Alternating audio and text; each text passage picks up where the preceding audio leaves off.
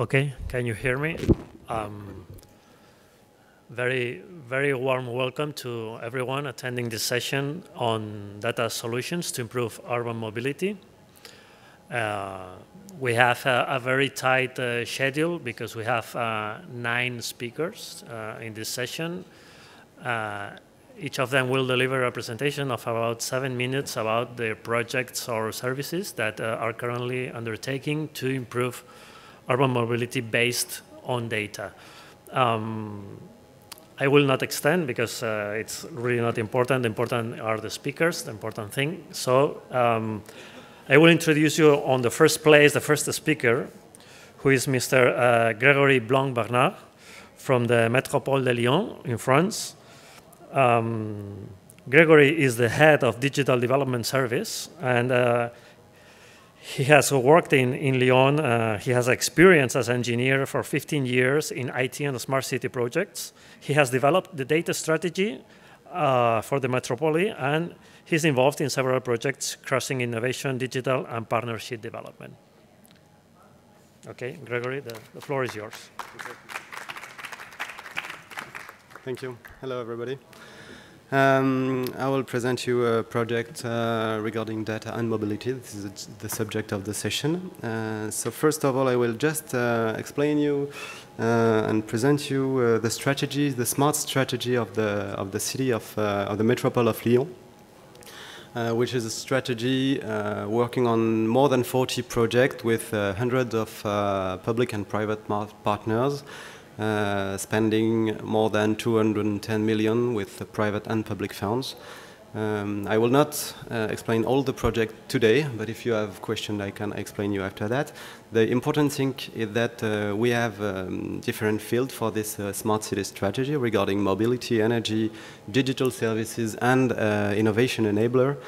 And um, the subject of data is in the innovation enabler and uh, helps all the projects regarding mobility, energy. It, this is kind of, uh, sorry, this is a transversal uh, approach for the data. We have set a platform in, uh, in uh, Lyon uh, and the goal of this platform is to allow the local players to innovate and to offer to the citizens new uh, services for the city of tomorrow. And um, we want to help those, uh, those companies to uh, build and create business model that can uh, that can be developed for the long long term. So we already have um, a platform that is single point of entry you have to understand that it's not an open data platform only. It's a platform where you can find open data, but not open data, restricted data. You can find geographic data, static data, uh, non-geographic, static, real-time, and etc., and public and private data. So um, our goal is to have really a single point of entry for everybody. Everyone, everybody wants to create a, a service on the um, on the area of the metropolis. And uh, we want to share those data with the public and the private sector, with the academic world, with, the, with everyone, in, fa in fact. And we want to do that for a long-lasting uh, period. We do not want only uh, to push data once, but, to, but to be able to allow the, the distribution of those data uh, for a long-lasting period. So we are working on uh, all the legal part with licenses and agreements. Regarding the mobility part, um, we have uh, three axes uh, on the uh, information strategy for mobility. The first one, the first axe is to have an offer for all the um, all the information that will not be developed by the private sector. So there is an um, there is a need, and we will provide this. We, as a public sector, we will provide this those information, and this is made through a website called Onlymoov. And the two other axes uh, are uh, to be able to publish data and to allow the companies and other users to reuse those data um, in the spirit of open data, but not only, not only this uh, spirit. And the third one is to build partnership with private uh, companies in order to be able to build services.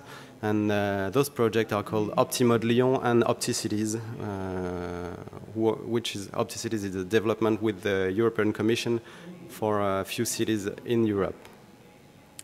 So uh, what we have done regarding mobility, we have developed, I, I say we, but uh, this is a private company that has developed um, real-time multimodal journey planner and uh, GPS, multimodal GPS with uh, one-hour traffic prediction. So there is there are a lot of services in this application, crossing all the way you can um, you can uh, move in the in the city, and we are providing those data in real time on all mode for any time, every, everywhere. And uh, okay, you can you can read that. And what is important is that we have collected uh, data from many partners. Here you can see all the logos, and but you have bus transportation tra traffic, uh, trains. You have already uh, also, sorry, um, uh, bike sharing system, car carpooling, and etc. I will not explain all of that. We have more than 20 million data a day for only the mobility part, and we also have other uh, information regarding uh, other fields like energy, environment, and etc. But this is focused on the mobility. As a conclusion, uh, digital services need to uh, to, to be a um, combination, a cooperation between public and private. And the city has a really interesting role in organizing data provision and uh, ensuring that uh, the service provided are respecting the general interest.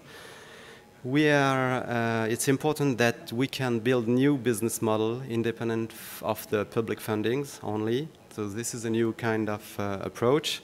And the open data is not the necessary, it's not, sorry, it's a necessary condition, but it's not uh, enough, it's not sufficient. We have to um, uh, be able to foster innovation and, uh, and sorry. Um, okay, so we have we have. Uh, oh, sorry, I am lost. Uh, so open data is not enough, and you have to uh, avoid monopolies and um, allow the local players to uh, be enter in the market. Sorry for the, the last part. And then thank you for your attention.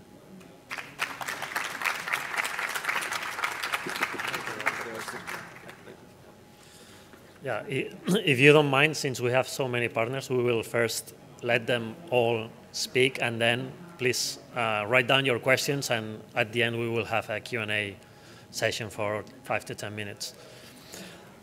The next speaker is Mr. Rafael Requena from the Autonomous University of Barcelona. He's the mobility manager since 2005, and he's uh, coordinator of the uh, university and mobility group of the Spanish Universities Association, CRUE. He previously coordinated a mobility committee at the Sabadell City, uh, uh, close to Barcelona, and worked for a mobility consultancy. So, Rafael, please, uh, it's your time.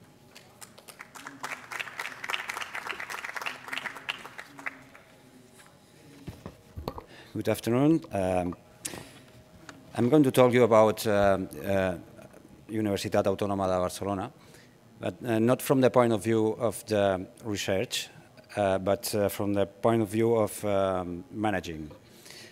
Well, I, will talk um, about research a little bit uh, at the end, but th this is not the main point.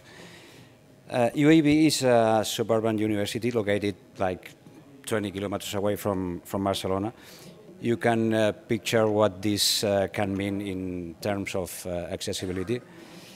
Um, to start, I could say that if uh, smart city is the city that uh, meets people's uh, needs in an efficient, sustainable, and integrative point of view, then smart mobility is the one that uh, meets people's needs to access with uh, more uh, efficient, sustainable, and integrative means of transport. Uh, in that sense, what does UAB to achieve smart mobility uh, standards? The answer is in our mobility plan. which um, establishes the need and the measures to, uh, for example, um, promote non-motorized transport, mm, more than 2,000 new meters of pavements and more than 3,000 uh, new meters of bike lanes have been built in the last years. On the other hand, promoting uh, public transportation, new uh, bus services and, and train services have been set. Also, uh, increase, try to increase car occupancy, which at the moment is really low. On the other hand, try to electrify um, university fleet, either bicycles or cars. Um, also, make campus accessible to everybody, with the main focus on handicapped people.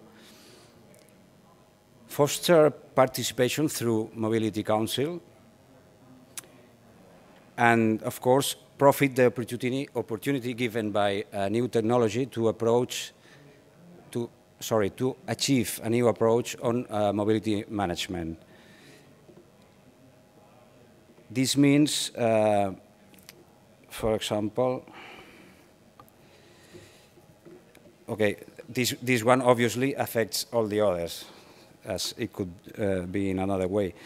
Uh, some examples of, of what we are working on uh, in that field are, for example, uh, to link surveys with uh, real use uh, data by tracking um, users, or enable uh, people to see different ways and means to get to the, to the campus in a sustainable way, or also to make possible to know in real time those bus transport uh, service and uh, real time of arrival.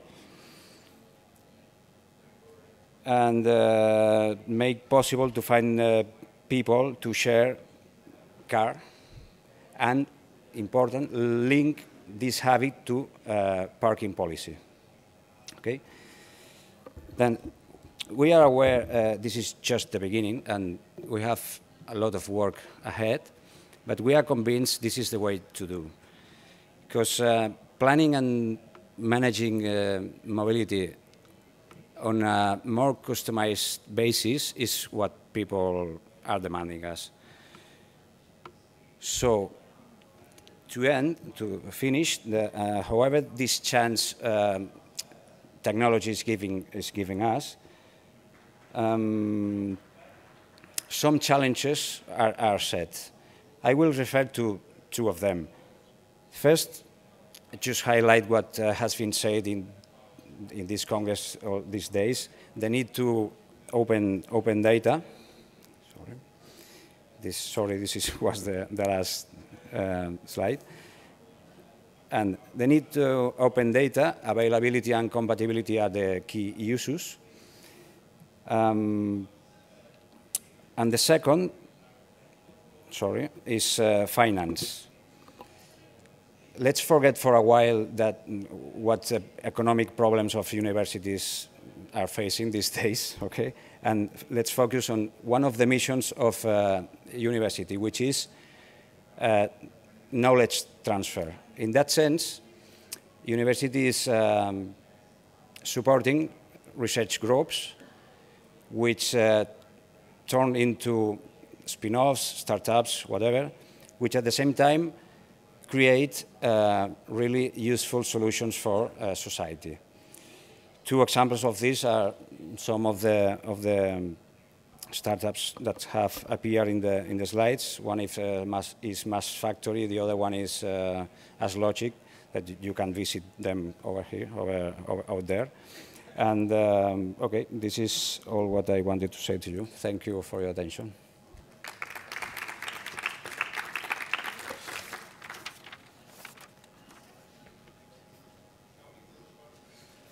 Okay, now the, the third speaker will be Josep Maria Deulofeu.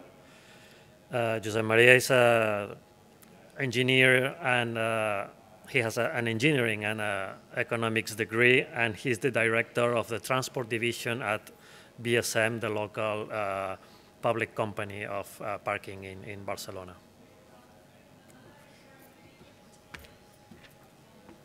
Gracias, Luis. Buenas tardes. Les voy a presentar una solución de Smart eh, Mobility urbano eh, que denominamos Sistema de Información de Plazas Libres para Autocares en el entorno de Sagrada Familia, que se implementó en enero de este año en el marco de Zona Bus. Zona Bus es el servicio de gestión e información de zonas de estacionamiento para autocares turísticos en la ciudad de Barcelona. Veamos cuál es la situación en el entorno de Sagrada Familia. El continuo crecimiento del sector turístico en la ciudad provoca un aumento de los autocares turísticos buscando plazas en torno a las zonas turísticas más visitadas de la ciudad. El entorno de Sagrada Familia tiene su propio microentorno de zonas de estacionamiento. En esta zona se dispone de 12 plazas de parada que son estas que están, no sé si aquí funciona el mouse, sí, no sé si se ve, son estas de color amarillo que tenemos aquí, son lo que denominamos zonas de parada y zonas de estacionamiento, que en concreto son, uh, son 32. Los uh, conductores de autocar dejan el pasaje para visitar el templo en estas zonas de parada, para lo cual tienen 10 minutos, y luego se dirigen a las zonas de estacionamiento. Es precisamente en ese desplazamiento de las zonas de parada a las zonas de estacionamiento donde los autocares iban dando vueltas buscando las plazas libres de aparcamiento. Para resolver este problema, pusimos en marcha un proyecto con el objetivo claro de reducir el tránsito de agitación de autocares turísticos en esa zona del entorno de Sagrada Familia. La solución que finalmente implementamos es un sistema pionero de detección de plazas libres de autocares mediante sensores ubicados en las distintas zonas de estacionamiento que lo que hacen es enviar la información de las plazas libres a paneles informativos integrados dentro de MUPIs a la página web del propio servicio de Zona Bus y a smartphones. Veamos el esquema de cómo funciona. En las zonas de, estacionamiento, estas que hemos comentado, hay instalados unos sensores que envían, que leen el estado de ocupación de las zonas de aparcamiento y mandan esa información en tiempo real a los MUPIs, que de hecho son paneles informativos que están en las zonas de parada, a la página web o a los smartphones. Y vamos con un poco más de detalle los distintos elementos del, del, sistema. Por un lado, están los elementos que sirven para capturar y enviar la información, que son dos, los sensores propiamente y la estación base receptora. Eh, los sensores se colocan en, calzada y sirven evidentemente para detectar la presencia de, elementos ferromagnéticos como son los ejes de los autocares. Son sensores que tienen una dimensión de 13 centímetros de alto y 7 eh, centímetros de diámetro. La batería que incorporan tiene una vida útil de 5 años y el protocolo de comunicaciones que utilizan estos sensores para comunicarse con la estación eh, base se denomina Sigfox. El número total de sensores que se instalaron en esta zona fue de 164. La información de estos sensores se envía a la estación base receptora cada vez que los sensores detectan algún tipo de movimiento en la zona de, estacionamiento. La estación base está basada en un sistema de comunicación de tipo LPWA de largo alcance que utiliza una banda de radio ultra band de 868 MHz que tiene muy bajo consumo. La información recibida por estas estaciones base es enviada a los dispositivos que se utilizan de interface para, transmitir la información a los usuarios, como hemos visto que son los, paneles informativos eh, web y smartphones. Los paneles informativos están colocados, están ubicados en la zona de, parada esta que hemos visto anteriormente. Actualmente tenemos, tenemos cuatro. Y en la zona superior de los MUPIs está un panel informativo que indica de forma rotativa el, estado de ocupación de las, de las distintas eh, zonas de estacionamiento con tres tipos de estado, eh, completo, libre o muy completo, muy lleno. Aparte, eh, el propio MUP incorpora una, un, un póster donde aparte de explicar eh, la información de lo que es Zona Bus y, los servicios que ofrece, eh, hay impreso un código QR que lleva directamente a la información del estado de estacionamiento que ahora seguidamente veremos. Cuando se lee ese código QR o presionando, tecleando directamente en la página web, se accede a esta información.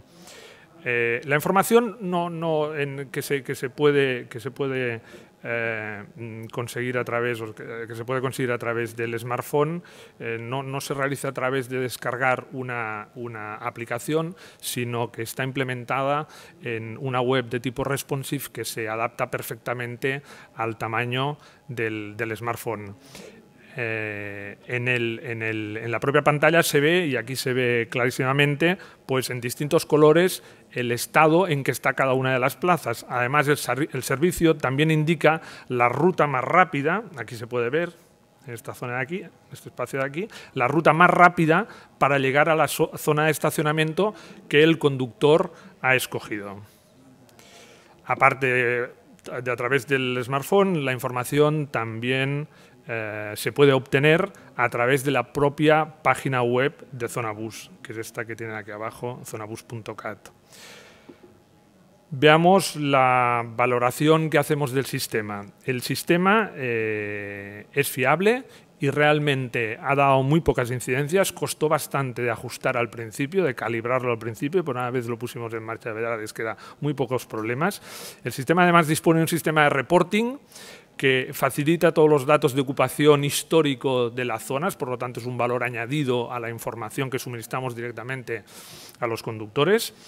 Y a los cinco meses de su puesta en funcionamiento realizamos una encuesta entre los conductores de autocar para preguntarles si conocían el, el servicio, si lo utilizaban. El resultado fue que un 68% de los conductores conocían el sistema, teniendo en cuenta eh, consideramos que esto es muy alto teniendo en cuenta que muchos son extranjeros por, lo tanto probablemente era la primera vez que lo utilizaban.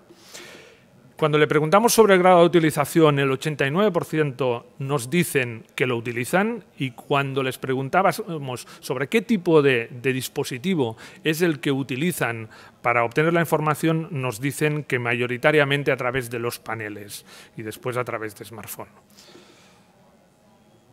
Muchas gracias por su atención.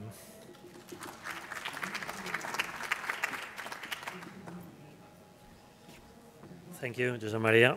the next speaker is uh, Mr. Silvan Rath.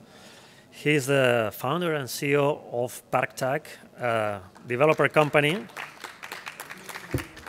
who works on crowdsourcing technology that auto automatically detects vacant spaces through sensors uh, built in smartphones. In this way, they turn the smartphones into parking sensors that allow drivers to see uh, vacant lots, uh, uh parking, parking lots uh, before they can arrive.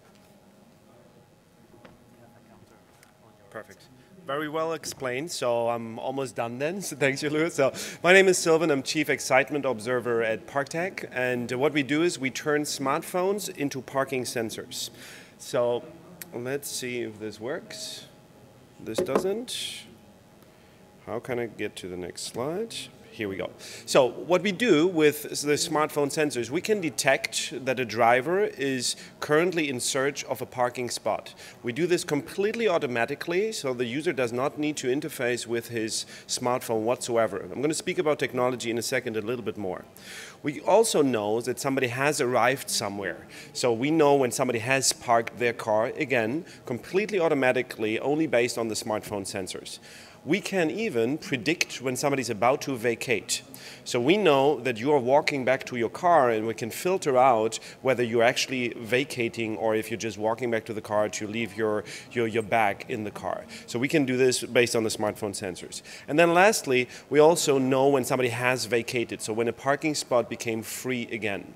Um, we even have a first prototype of differentiating all the different types of transportation. We can tell whether you are riding a bicycle right now or you're in your own car or you're in a bus bus or in a city train. We can already do that so that we can only, you know, really pinpoint the parking spots that are out there.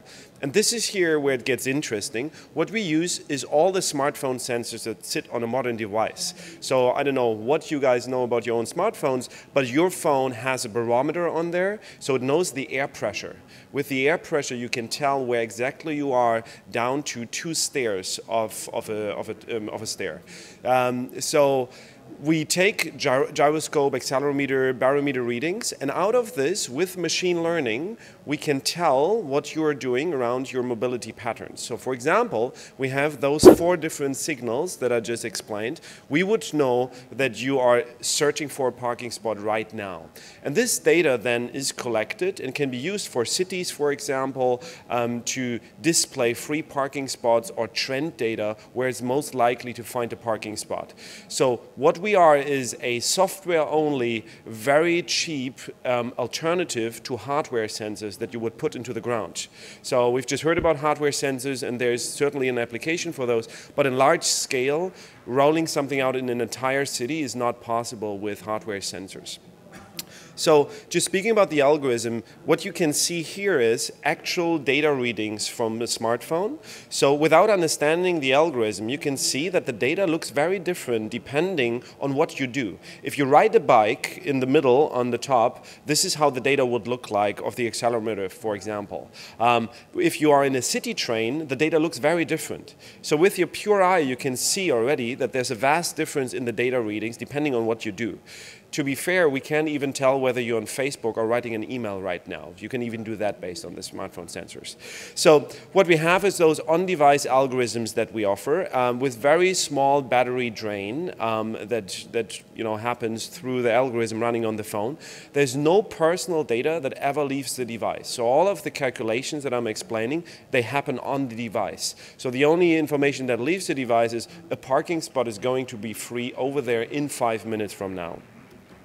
So what we do is we are a tier three supplier to the automotive and mobility space. So we have this technology and we ship this to anybody who wants to use it for a city, for a mobility app, you know, whatever the application might be. It's a very simple model and we're actually funded by, um, by a public-private partnership called Hightech Gründerfonds in Germany. So we're obviously very close to the agenda of what the cities want to, to achieve. Um, and in the end, obviously, the vision is that all drivers see parking from the future, quite literally. They see where a parking spot is going to be free, and before they arrive, they will already be allocated a parking spot.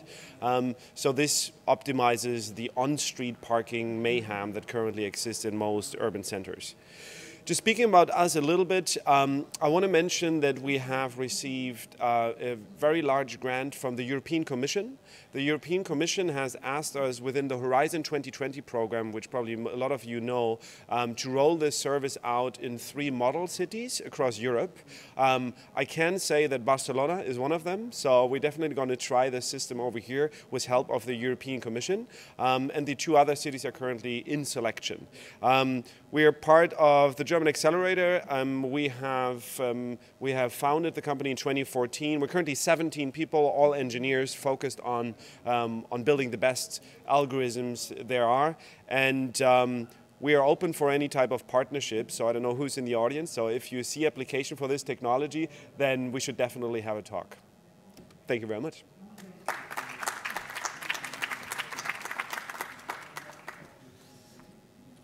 Very impressive, Silvan. Uh, Mr. Thomas Hohenacker will be the next uh, speaker. He's the CEO of uh, Cleverciti Systems. He's both an entrepreneur and a manager, as well as an inventor and creator of new technologies and systems. Since 2010, he has devoted himself to the topic of a smart city and smart apps to offer real data parking solutions and live information for drivers and cities. So Thomas, please. Plug in my, my own computer.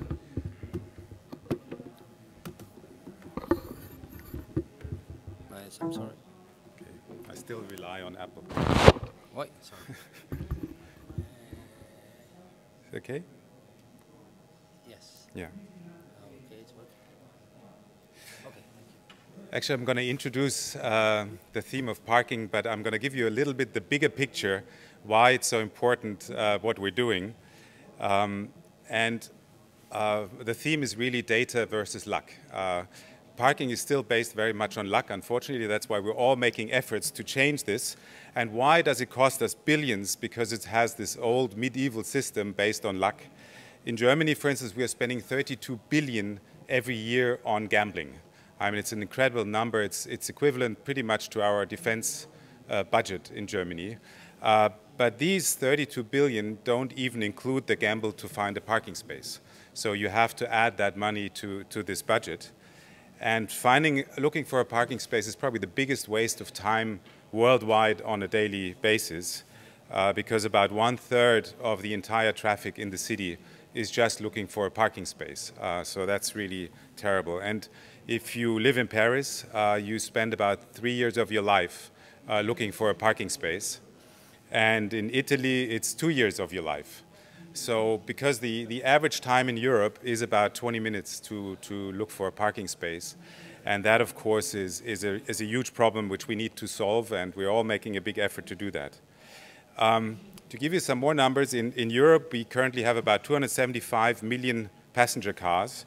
And for parking these cars, we need about half of Belgium, one third to half of Belgium, depending how you count it, because you need one space at home for your car, you need one space where you're working, and you need another half space or one space where you want to go shopping, you want to go to the movies, you want to go to restaurants. Um, so this, this accounts to about 1 billion hours in Europe every single year that could be saved if we would have intelligent data. The estimation is that we could reduce, if we would have data where parking spots are, we could reduce the search traffic by, again, by about a third. And, and that, of course, this 1 billion hours costs us an enormous amount of money. Uh, and the 17.5 billion kilometers that we drive around uh, are a huge expense. So the European drivers spend 33 billion every single year that they wouldn't have to spend if there would be real data available. Um, and if you add the effects uh, like CO2 emission and you add the effects of nitrogen uh, monoxide emission, uh, this figure actually doubles what it costs us in Europe every year, so about uh, in excess of 60 billion euros because there is no data available. And we, like my colleagues, very much believe that uh, we should offer service rather than punishment in data. Uh, punishment in the long term doesn't work. Uh, we need to make drivers understand if they get good service, they also want to pay. So we are coming again from the hardware side, and we also realize that ground sensors are not the solution, especially because our cities do not want to box in the spaces. Uh, we want to have flexible spaces in the city. We want to encourage small cars to come into the city, not the big Hummers. And the problem in ground sensors is that you need to box in the space for the biggest possible car, uh, and that's not the future of our cities. So we developed um, a sensor system that comes from the top. It's extremely precise, and a single sensor in one street uh, can cover up to 100 places. Uh, it's very, very precise. It measures the, uh, the space by 25 centimeters and it also measures the, the remaining space. So in the app, which I'll show you, you also get um, uh, the right size of space for your car because it doesn't help you if you have a, a big car and the space is too small. So we give you exactly the size of the space you need. And everything is processed inside the sensor, so no images or no video stream or nothing like that leaves the sensor that could be in conflict with any, any privacy. Um, we are integrating our sensor also into modern street lighting. This has the big advantage that we can also um, dim and manage the street lighting in an intelligent way, which is sort of a side product of, of it. So it's, it's basically for free. And here's an example uh, where we have an installation near Frankfurt. Um, it's one of the busiest uh, spaces in, in Germany um, with about 5,000 movements every day. And with only four sensors, we cover the, the entire inner city uh, of this place. This is what it looks like. You see that also the sensor captures whether people are parking correctly or incorrectly. They, some park a little bit on the side. And so it measures exactly, is there still enough space uh, for somebody to, to fit in there. And we also have an app, obviously, uh, to communicate that to um, uh, the user. We communicate also through local parking guidance systems, but of course also through an app. And the beginning of the app, you, you say which car you have. So we only give you spaces where your car actually fits. Um, so you define, it's very simple, you define the, your destination, we navigate you to the, to the nearest space. You always have a live view of the spaces actually available. And in case this space gets occupied, you automatically reroute it to the next space. And we also came up with a, with a virtual reservation system, which means that if five people, for instance, are going to the same destination and there are only one or two spaces left, we virtually reserve the space for the nearest one approaching, which means that the other four already get rerouted to the next available, eventually in another street, and we tell them how long it will take you to get back walking um, to, to your real destination. So, and then of course you, you, you can pay uh, through, the, um, through the app. It's actually quite amazing. I don't know what you would estimate in Germany, how many people are actually paying for their on-street uh, parking spaces. It's really quite amazing. You would think the Germans are quite, uh, you know, honest, uh, but they're so frustrated from circling around that only between 10 and 20 percent of the people are actually paying uh, for their parking space. So we need to change that to give the city uh, more uh, budget to improve the traffic in general.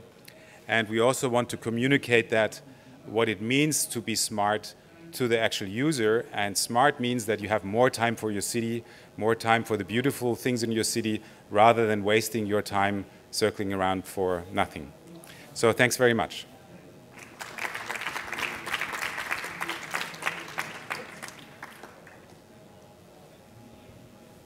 So I'm going to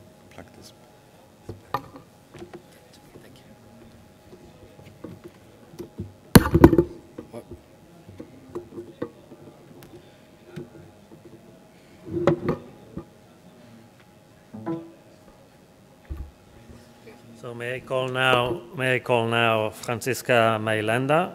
She is the marketing and PR communication manager of the highQ Computer Lösungen company. It's a German company uh, who is offering uh, solutions on interoperable and intermodal mobile ticketing for public transport authorities and smarter cities.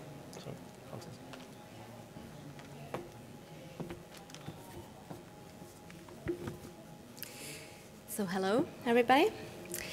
Um, now we have focused um, very much on the individual traffic, and I'd like to set the focus right now on the public transport. And um, I just want to ask, can a simple smartphone app have a positive effect on the environment? And I'd like to outline to you the benefits for public transport providers and end users using smartphone apps. Therefore, I'd like to introduce to you our smartphone app called MyTrack. It's a multimodal mobility assistant and it's smart, it's interoperable, and it's intermodal. Smart means MyTrack is connected to an open background system architecture. Intermodal means it integrates public transport services and different car sharing services with other sustainable means of mobility, like bike rentals or e-scooters. And interoperable means MyTrack is based on an interoperable e-ticket standard this is the e-ticket Deutschland standard. Due to this standard, it is unimportant where you buy your ticket. It's just um, either you buy it in Berlin or you buy it in Munich. You, the idea is that you get the uh, invoice at the end of the month and you pay um, monthly your bills, like uh, we do it when we have our um, phone providers. We also get uh, it by roaming. But the app actually is an app for routing and ticketing, but it's still more. Um, is quite complex, and I'd like to give you some examples how public transport providers are able to implement MyTrack in their daily business. MyTrack doesn't just sell tickets, it's also able to get them controlled, to get them inspected. Using the app for ticket inspections, inspectors do not need um, any hardware anymore. They just need a smartphone, a simple smartphone. They control it um, with uh, a smartphone with near field communication. And another positive aspect for the transport providers is that if they are subsid subsidizing um, the um, taxis for the last mile, they can now control the bills they get from the taxi companies because you can check in as a passenger with your e-card on the smartphone of the taxi driver and you can check out. And so it is very transparent for both for the passengers as well as for the taxi companies as well as for um, the transport providers. MyTrack can also um, flexibly adapt new products. Like, for example, it can um, have combination tickets for going to the museum or going to the theater or to the aquarium. You just have one ticket, you can buy it on your smartphone. We have also different means of payment. And uh, right now we have realized DigiCash and flashes, but um, we're still planning on doing some more integration. Well, and the um, benefits for end users are quite obvious. First of all, getting people from one place to another in the shortest possible time without traffic jams, without long searching for a parking slot. And you can choose options, whether you want to go fast, whether you want to take the, a sustainable route, or if it's if you want to go less pricey, you can choose an option and afterwards you can get your ticket for all the intermodal traffic, means of traffic or, or, of transportation. MyTrack is so simple to use, it gives easy access to sustainable mobility. This is especially important for people who use public transportation systems less frequently, or for people who travel in cities they're not familiar with, where they're neither used to the payment requirements nor know exactly where to go. So you might ask, where do we find MyTrack? You'll find it in the Google Play Store, and uh, soon you'll find it on the Apple App Store. And we have a well-known, highly awarded variant of MyTrack. This is the M ticket in Lux Luxembourg. And uh, it was um, developed for the transport authorities there. The M ticket was awarded twice this year in Dubai and Berlin. What I haven't mentioned yet are the benefits for all of us using smartphone apps for public transportation purposes. Making traveling easier also means getting more people using and paying for public transport systems. With more money flowing, public transport systems can again be more efficient. This also means less individual traffic, less traffic jams, less pollution, and therefore it has a positive effect on our environment. Thank you.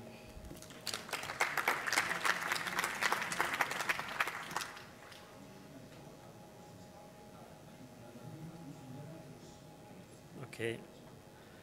Now, now is the turn of uh, Maria Isabel Flores. Um, Maria Isabel is the business development manager of a company called ally from Germany. Uh, she's a cybernetist and museologist. Uh, you have to explain us this. with a passion for public transport as a way of living and experiencing the cities.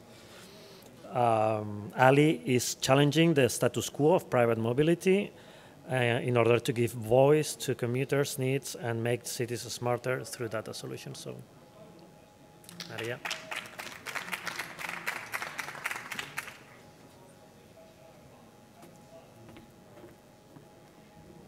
Thank you. First, thank you for bollocks. Yeah, creo que así mejor. Okay. So, um, um, thank you for sticking up. Uh, thank you for, for staying so long. Okay, let's try to see this. Uh, thank you, Franziska, for opening, you know, from paving the way to, yes, indeed, let's, let's pass to something kind of like very, very interesting, which is public transportation. Okay, so I would like to, to start with these kind of like bold statements that apparently are gonna like grasp you. Uh, so um, mobility is a human necessity, but I would like to say that mobility is a human right. Got you.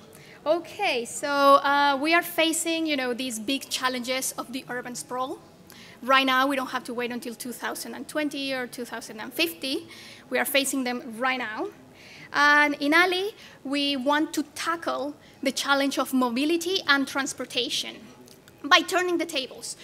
You know, instead of uh, perpetuating this old-fashioned model of supply and demand, we want to, to turn it into kind of like a demand-based, based on the needs of our commuters. So for this, as you can see, data is at the core of our, of our vision. By sourcing, sourcing it, by analyzing it, is how we can start building and providing solutions. Our, come on, how? Whoa, what? S? There you go. Okay, so our, our uh, organic process starts with sourcing the data from different origins and crowdsourcing it when the data is not existent. From there, uh, we can actually develop an app and we can start, uh, through the use of the app, we can start producing data, producing information, and producing knowledge uh, through which um, we can start providing uh, also useful solutions. And we can start understanding the issues, we can start planning. Okay, thank you. We can uh, understand them, uh, plan around them, address them, and actually solving them. So uh, now before uh, uh, we, we, I go on, I want to recall very quickly this concept of smart cities. Whenever we talk about smart cities, we are talking about cities with brain. Unfortunately, right now, we have shifted uh, uh, the, the focus from data per se to kind of like what we can actually do with data. And while in developed countries, uh, it has been this logical evolution to open source the data.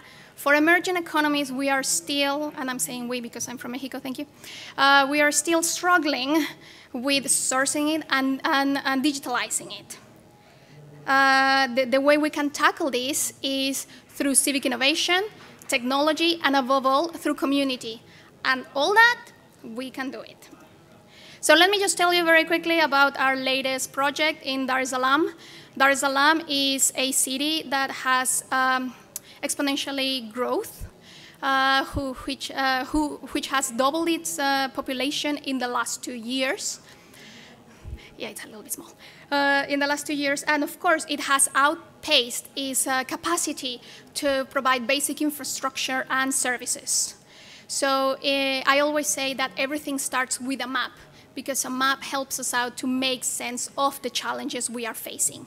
In 2010, the, uh, the government started developing this digital map, but it wasn't until 2015 that a series of stakeholders, including Ramani Huria, the World Bank, the University of Dar es Salaam, ally, the Humanitarian OpenStreetMap, and many others, that we actually developed the first digital map upon which we are going to start developing solutions.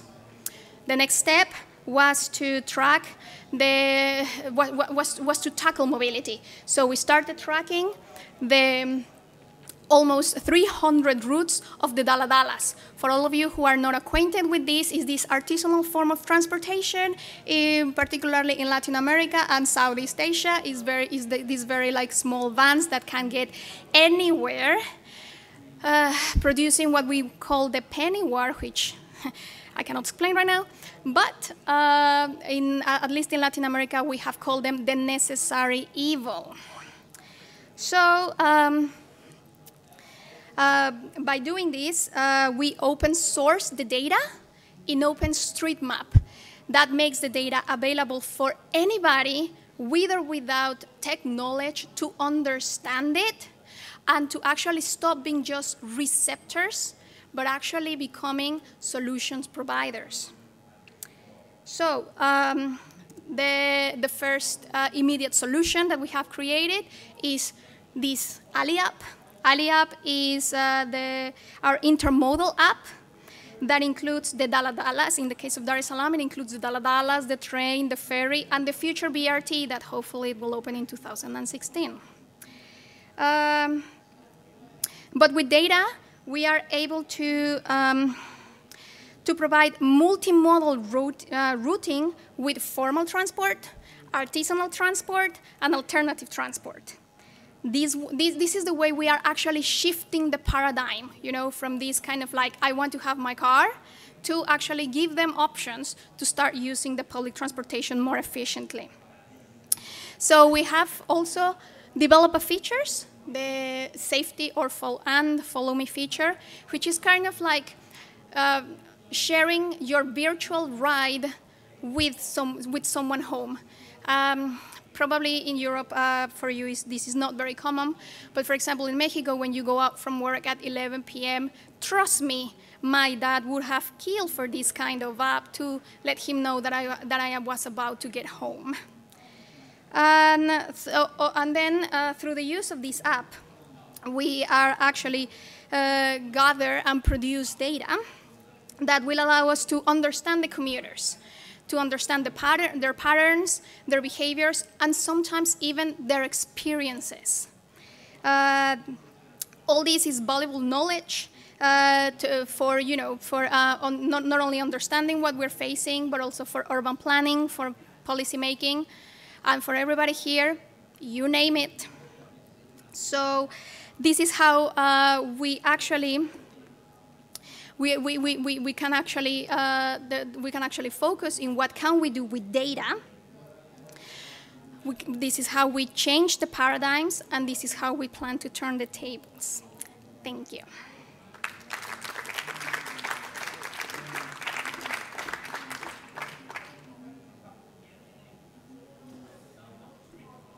Okay. Next one is uh, Christian Christian Oldendorff. He's the. Sorry. Albert Isern? Okay, no, no problem. One or the other. Um, Albert Isern. He's the CEO of Bismart. Who, it's a company, uh, according to uh, Albert, is the preferred big data partner of Barcelona, providing innovative solutions for smart cities. Thank you. Welcome to Barcelona. My name is Albert Isern. I am the co-founder of um, Bismart. And I would like to share with you that we are extremely excited because Bismart is the worldwide partner of the year of Microsoft in business intelligence. okay, what is the reason? Bismart is a big data specialist company for smart cities. We provide the best solutions to help cities to power to improve the quality of life in the city and to promote the economy development. Data is essential for, um, for improve, improve cities. Data, data is essential to help uh, make, uh, to help decision making. And we transform this data into intelligent action. Okay, please fasten your seatbelts. We are taking off.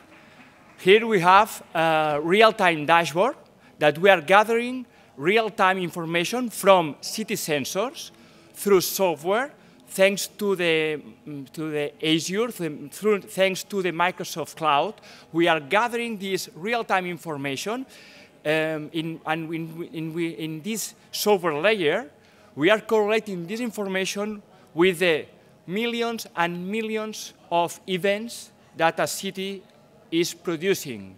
We are gathering this information from sensors, from social analytics, from weather information status, from traffic information status, from public transport information, from whatever source of any city have that are producing data.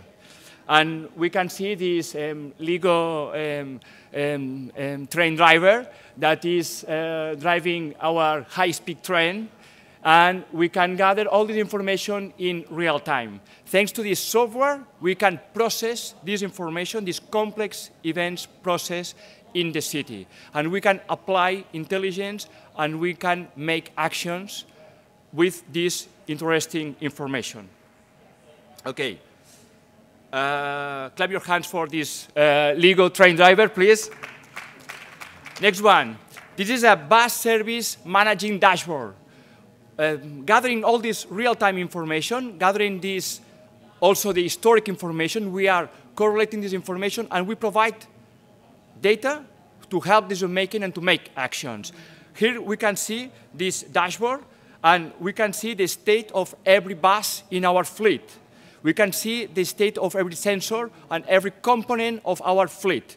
We are seeing the interior temperature, we can see the autonomy, we can see the emission, we can see the wheels, the pressure of the wheels, and we can see in this bus, in this 301 bus, has a problem, in a critical error problem in the front doors. Then we can make an action. After this information, we can apply action, intelligent action. In this case, we can ask for replacing the bus. As we can see, our red bus has the, this problem, and, and it, this bus, it is going home to make replace. Please, another time, clap your hands for this red bus that is going to the terminal. Woo! Next one. We can analyze more information. Thanks to all this data that the, the cities are generating, we can make the best decisions, social analytics, another time in public transport application. People is enjoying the best festival in La Merced, the Barcelona Annual Festival. Shakira is, is up, is on, on fire, and people, is on fire people are on fire, are enjoying, and we are listening this social media. We analyze all this information, we put this information in our sentiment analytics engine, and people is happy, and then the city council became happy. Okay, let's go. People are exhausted, are tired, they want to get home as soon as possible. And when they arrive at the bus stop, no more buses are there.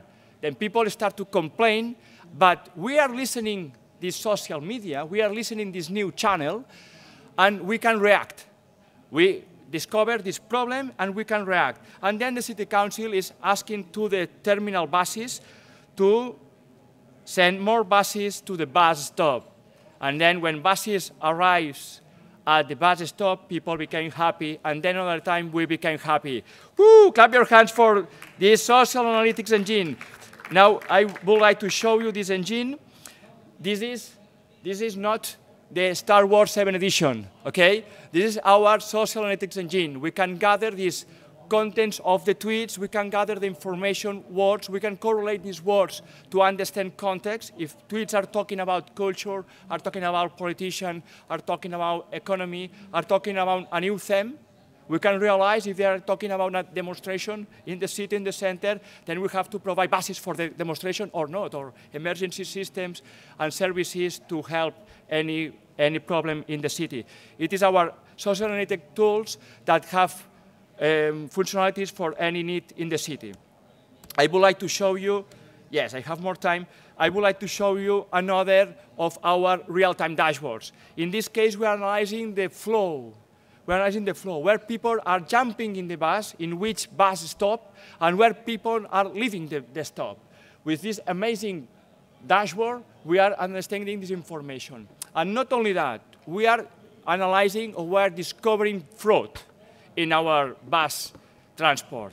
In Spain, we don't have fraud, we don't have, there are not corruption. It's another country, okay? And we, how we discover this, this fraud? Because we are comparing the validation ticket machine, the ticket machines, with the people that are in the bus. How can we do that? The buses and the doors, they have a sensor, a counting people sensor, and we have other sensors like the Wi-Fi. Barcelona Public Transport are deploying Wi-Fi network inside the buses, and thanks to the mobile phones, we can analyze how many people are in the buses. And not only we are sending inspectors to this critical bus, okay? Uh, uh, now don't clap your hands for these inspectors, please. And, and another time, we have, I would like to present you the, um, these, these demos, not running right well, trying against. Okay, every color is a mobile phone. We are gathering information from this, uh, yes, uh, this yellow phone is going to, the, to ski to the Pyrenees. This blue, uh, blue point is going to Madrid. We are gathering the movement of the people in an anonymous way directly from the smartphone. Why? How can we do that? We are deploying a smart solution. People are download, downloading a smart solution, and we can gather the real roads in the city. We are providing the best smart city road for the visitors, gathering real, alive, live information of the city, gathering information of scheduled events, ticket prices, public information status, transport information status. We can provide the best smart city route for the visitors. Then visitors can live the best experience in the city.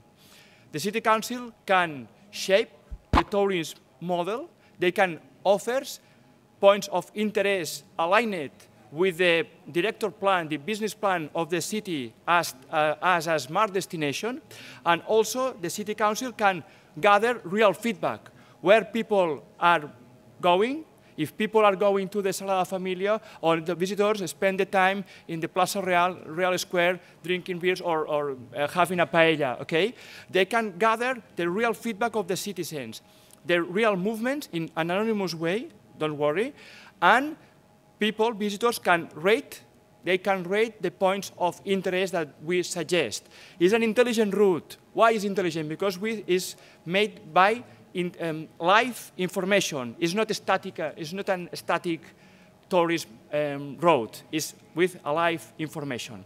Okay, that's all. Thank you so much for your attendance, and see you at our booth at the Microsoft booth. Thank you so much.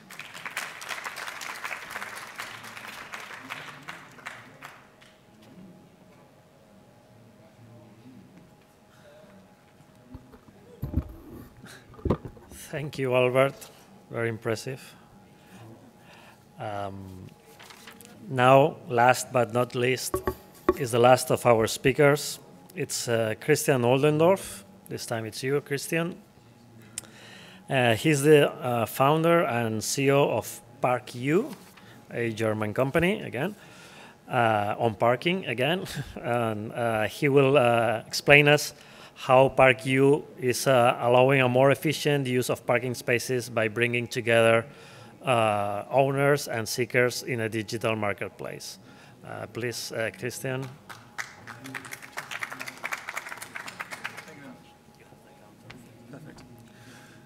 Thank you very much. One of the many benefits of going last is that many things that have to be explained don't have to be explained a second or a third time. I thank my colleagues very much for, for making an introduction. We all can take away that the social implications of parking are quite rapid. There are economic implications, there are commercial implications, there are also social implications. The, the ParkU app is a live app, which has been uh, in, the, in the market for three years. There's an iOS and an Android app.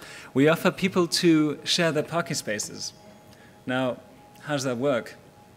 Our parking spaces that we offer are privately owned. They're not public.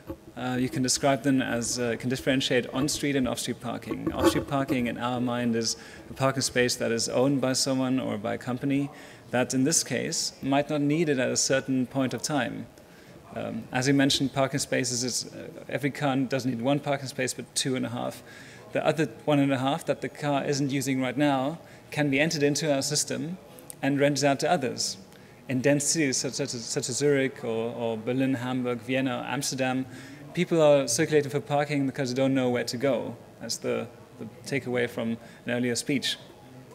We would like to help with exactly that problem. So what do we do?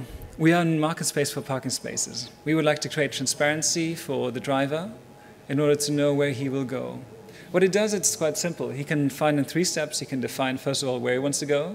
Second of all, he can describe, describe the, uh, the, the circumstance he wants to park in, covered, uncovered, um, at which price. Um, he's got a wide selection in, in most cities. He can book with one click and can even find, find access with another click. We offer on-street parking spaces, uh, well, parking spaces that are available from the street um, without a barrier or a gate in Zurich and in other Swiss cities because the structure there is possible. In cities within, within Germany and cities within, uh, within, uh, within Holland and Austria, most good parking spaces that are inside the city are mostly behind barriers and gates for obvious reasons, for, to avoid abuse. We develop an element of hardware which we supply for free to our customers, install this in the gate or the barrier, and make the parking space available to the customer who books because he can then control the gate or the barrier through the app. It's quite nifty. It doesn't uh, take much to install. It's quite cheap too. Um, the, uh, the rest of the system, the payment, uh, the navigation is also included.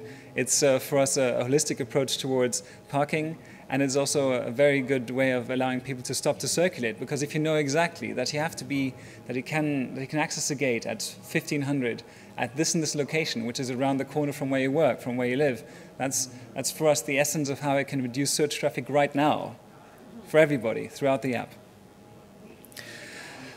Of course, we do follow our users around quite a bit. Once they, once they look for parking spaces, they have several characters. Some want to book now because they have the stress right now. Some of them have an appointment which they would like to take, uh, which they'd like to take an account for at a certain given amount of, a certain amount of time for a certain amount of time uh, at a certain location. So you can actually book this in advance. Some others, um, I don't know how many people have you been to Amsterdam by car.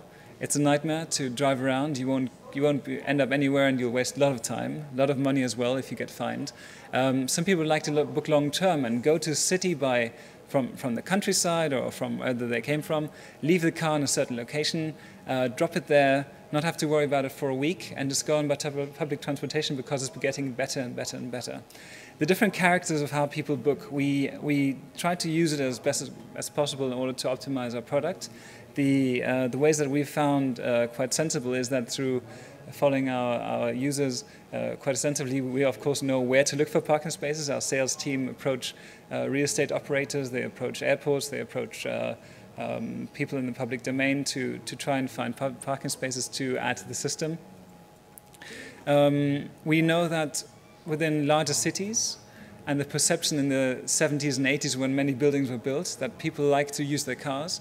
In many cities such, such as our hometown of Berlin, it's not true anymore. If you look at a, a, large construction within, a, within an office space or within a, even a residential building, there's always one, two, three, four, let's say the last 10% of the parking spaces are always free because the people's mindset have changed.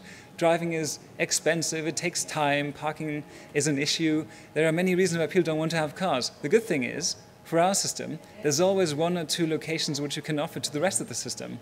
And you can actually monetize this dead resource, in which you can, which is which is not a, a hundred euro resource. We have one customer who, within Zurich, earns four and a half thousand francs a month with five parking spaces. Okay, they're next to the stadium, right? I mean, they're, they're, they're right where people want to go and want to want to stay. But the um, what I want to convey is that there's real money in this, and ParkU is the access point to it. Um, we, we try to, of course, use this argument when we go to um, go into to, to going towards uh, uh, airports or even larger professional operators of parking parking lots such as Apcoa, Q-Park, and ContiPark.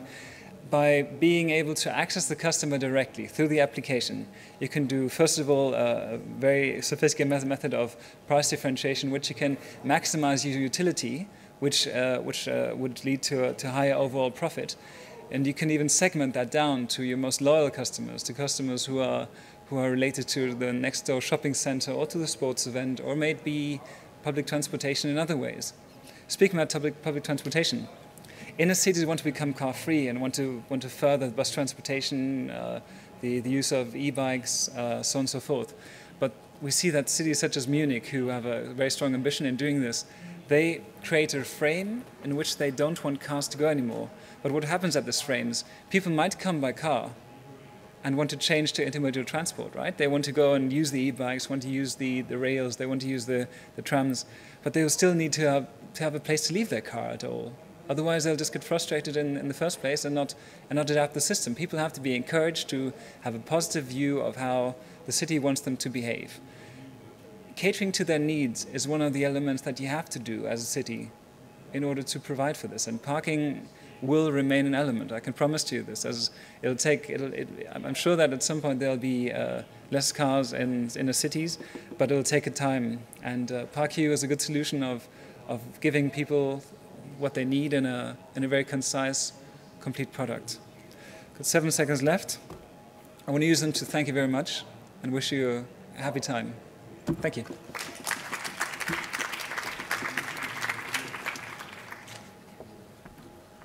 Okay, thank you, Christian. Uh, now the, the, the, the, speeches are over, and, and we have still a couple of minutes, five minutes for questions. So if, you, if, the, if the audience has any question, please, please do.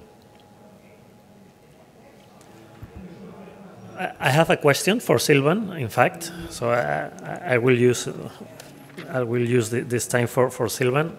Um, it, as I understood from, from, your, from your service, um, the more people using it, uh, the better uh, service. So critical mass could be uh, important for, for the success of your application. Um, do you have uh, any incentives for users to, to use the app? Uh, have you set up this?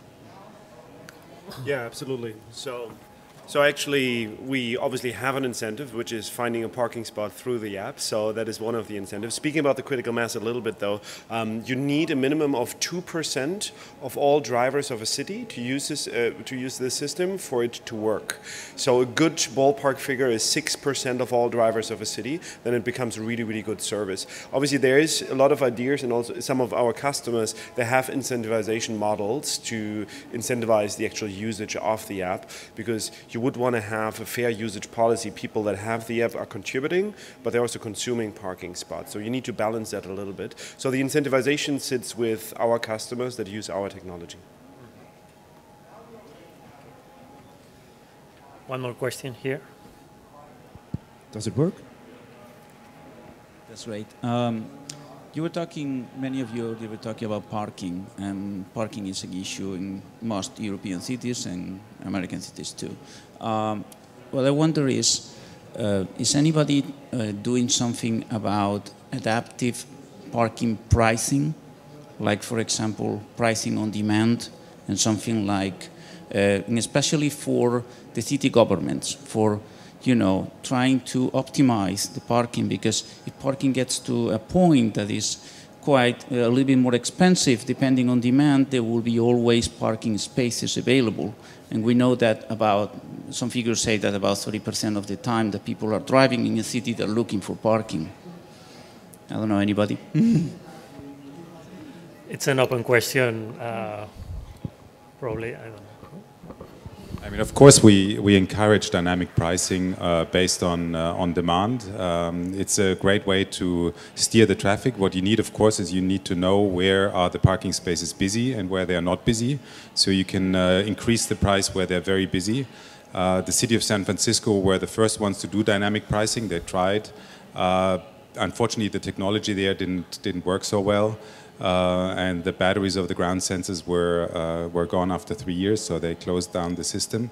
But the idea was very good to do dynamic pricing, and we can only encourage that. Okay. I would just uh, add one thing. Uh, if you do dynamic pricing, please think of the end user who needs to know a little bit what he can expect in terms of, of pricing. Because uh, if dynamic becomes uh, hectic, then end users get uh, unsatisfied, I, I, would say. Um, well, I think that we have run out of time, so I would like to thank all the speakers for, for their time, for the, for the interesting uh, things they have told us today, and thank you all the audience for, for your attendance.